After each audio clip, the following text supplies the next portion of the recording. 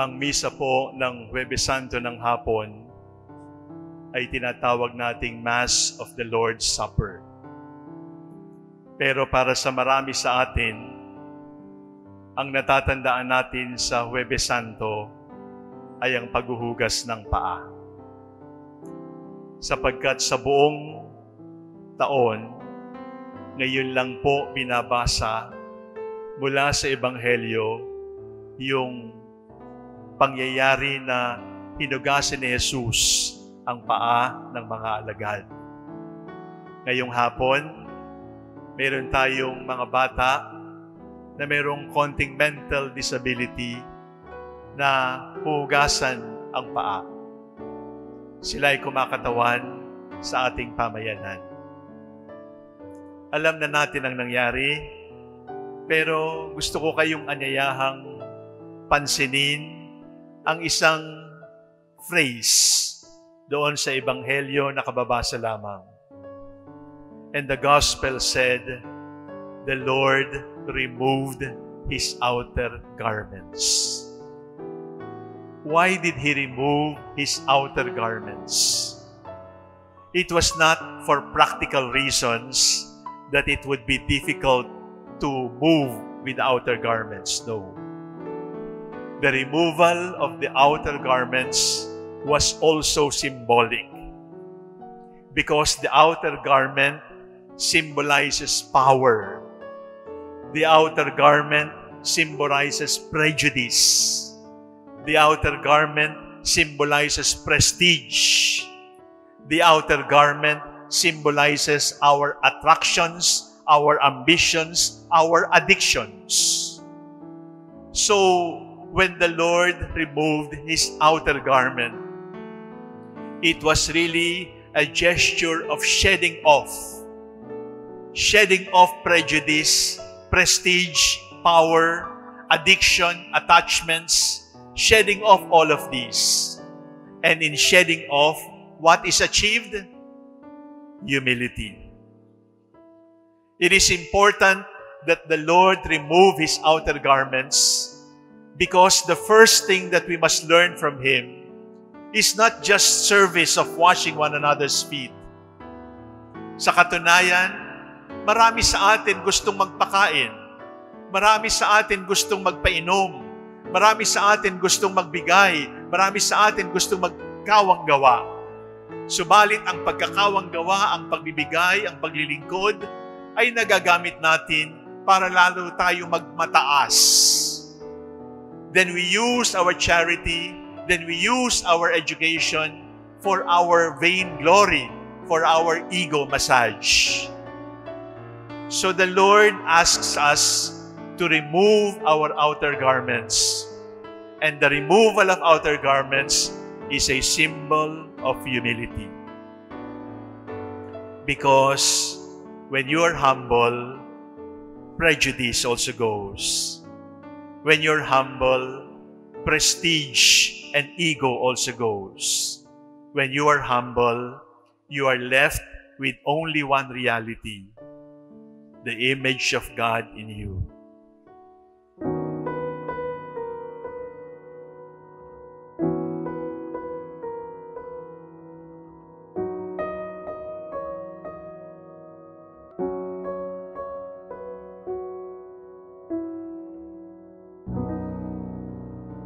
Why is humility important? Because humility is the seedbed of unity. Ang dami-dami ngayong nagsasabi, magkaisa tayo. Solusyon sa COVID, magkaisa. Solusyon sa walang trabaho, magkaisa. Solusyon sa may sakit, magkaisa. Pero, bakit hindi na-solve yung problema kahit gusto natin magkaisa. Kasi yung ating pagkakaisa ay hindi nanggagaling sa kababaang loob. When unity does not come from humility, it will also self-destroy. Because unity that is based on money will be destroyed by money. Unity that is based on political power will be destroyed by political power itself. Unity that is based on our common prejudices will be destroyed by the same prejudice. Unity that is achieved by our common crimes and sins and defects will be destroyed eventually by these same defects. Humility is important for unity because when the arrogant come together, that is not a unity. That is a syndicate for crime. We must come together to be united. But the seedbed of all unity should be humility, should be letting go of prejudice, should be letting go of prestige and power and addictions and attachments. When that happens, then unity becomes really our strength. Unity without humility is not a virtue. It is not a grace from the Lord. The starting point of everything must be humility, the removal of our outer garments. And what is the proof that unity is from God? The proof is those who are united serve. The proof is those who are united forget themselves and love others.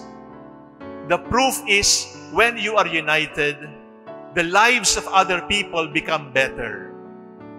The proof is when you are united, you are all willing to stoop down and wash one another's feet. These are the lessons of Holy Thursday that we need so badly in the Philippines right now. We need this in society, we need this in the church, we also need it in public service. Humility. St. Augustine was right. What are the three requirements for people to be able to go to heaven? He said, the first is humility, the second is humility, and the third is humility. Because humility is the seedbed of all unity. Humility is the seedbed of all virtues. Humility is the seedbed of holiness. The fathers of the church called humility the crown of all virtues. It is also the beginning of all virtues. And when people unite, recognizing that it is not our politics, it is not our business partnership, it is not our common enemy that unites us. What unites us? That we are called, that we are all children of God that we are all created in the likeness of God. If we can only remember that all the time, then all will be well for us.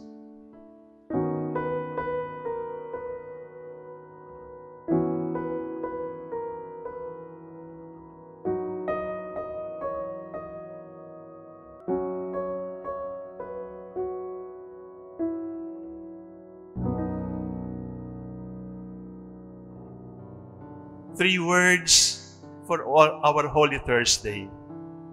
Humility, remove your outer garments. What is God asking you to let go? What is your current addiction? What is your attachment? What is your obsession? You want to unite? Look at your friends. Is your friendship based on humility? Or is your friendship based on money or prestige or popularity or education or career or job? What makes you one? Ilocano? Pangasinense, Tagalog, Bisaya, Cebuano, Bicolano? Hanggang kailan? Ang lahat ng ito ay mawawala. At darating at darating ang panahon, ang matitira lang sa atin. I am a child of God. And it is being a child of God that is our strength for unity. And if we are indeed children of God, our fruit is not more power. our fruit is not more influence. Our fruit is we forget ourselves and serve others and make this world a better place. What is God asking you to remove? Who are your friends? What are your friends doing together to serve God and to serve others? We can wash infinite number of feet. But if there is no humility that brings to unity, and there is no unity that yields to charity, everything is coming to waste.